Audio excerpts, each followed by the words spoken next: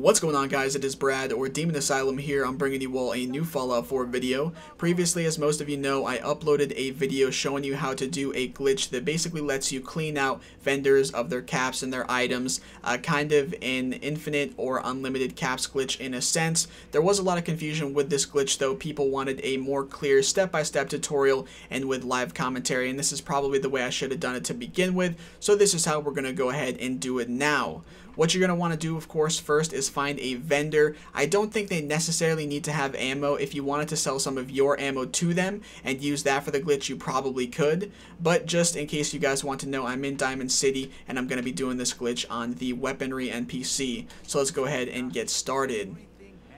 First thing you're going to want to do is establish which ammo type you want to use to do the glitch. You're going to want to choose the ammo that you have the least amount of or that you care the least amount about. Why? Because whatever ammo type you use, you're going to lose it all by the end of the glitch. And the only way to get it back from the vendor is if you legitimately buy it.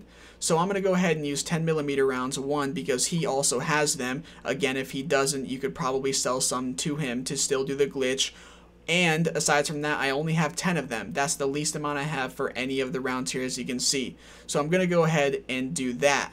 To start the glitch off, what you're going to want to do is go to the vendor's side of the inventory screen. Click on the ammo of your choice that you want to do the glitch with and choose to purchase all of it. Now, of course, you're not going to actually go through the transaction. As you can see at the bottom of the screen, if I were to hit X, that would accept the transaction to go through. You don't want to do that. What you want to do from here is go back to your inventory screen now on this on this side, the left side.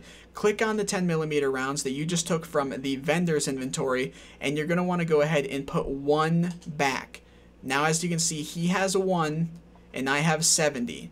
So what you want to do now is click on your side of the 10 millimeter rounds again and put all the rest of them towards the vendor NPC, which in this case would be 70.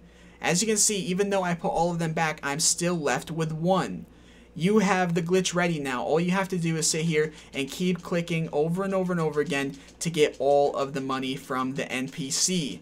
Now, if you want to take this a step further, this is something that people pointed out to me and that kind of went over my head to think about, honestly, um, but it's also what I've been doing anyway, just without realizing it, is that if you want to completely clear them out of anything, let's say you want this big boy, it costs 13k. Even if you took all of this vendor's caps, that doesn't amount to, to 13k. You can't buy that. But there is still a way that you can get this along with any other items that they're selling. So what you're going to want to do from here is after you already have the glitch going and everything, you're at this point of the glitch, go back over to their inventory screen, click on their side of the 10 millimeter rounds or whatever the case is for your rounds and make sure that the amount of caps you are putting up the quantity for so for instance in this case it's 906 caps make sure you have that amount in your inventory. I have 1100 caps in my inventory so this will work go ahead and just click A. And as you can see now, it says I have six rounds in my inventory. And that's fine. The glitch is still going. What you're going to want to do is go ahead and, and do the same thing. Click it again. And then click it again. And click it again. And just keep going until it's ridiculously high to the point where you know that it's more caps in the total cost than everything in this guy's inventory. And from here, you can go ahead and just buy everything. You can go ahead and take everything. And the why? Because all of this stuff that I'm taking is way less than the amount that he technically owes me, or at least what the game thinks he owes me, for all of the ammo that I gave to him through the glitch. So you can literally take all this stuff, and I'll show you guys.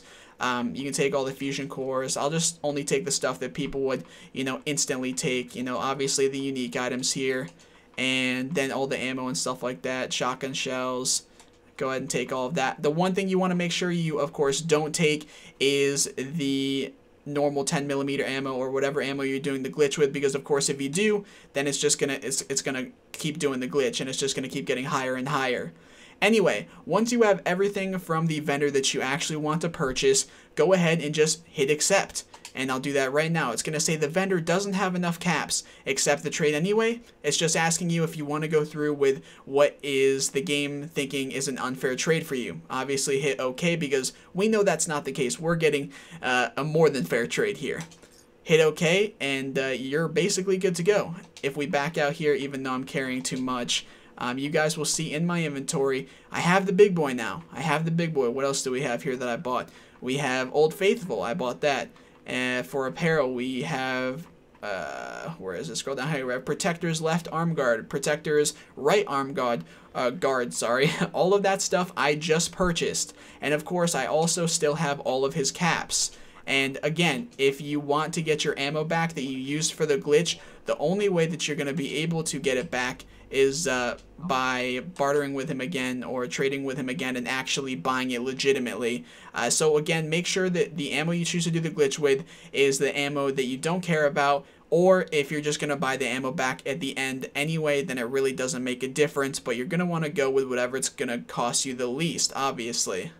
But anyway, guys, that is basically it. I really do hope this tutorial and uh, this live commentary, step by step, whatever you want to refer to it as, is much better than the first video that I did explaining how to do it. Still, if you have any questions regarding anything around this glitch or just in general, go ahead and post it in the comment section below and I will be sure to reply to you as I did everyone else on the previous video. That is about it. I do hope you all have enjoyed the video though. If so, feel free to drop a like on it down below and subscribe for many more Fallout 4 videos to come. Thanks for watching everyone and peace out.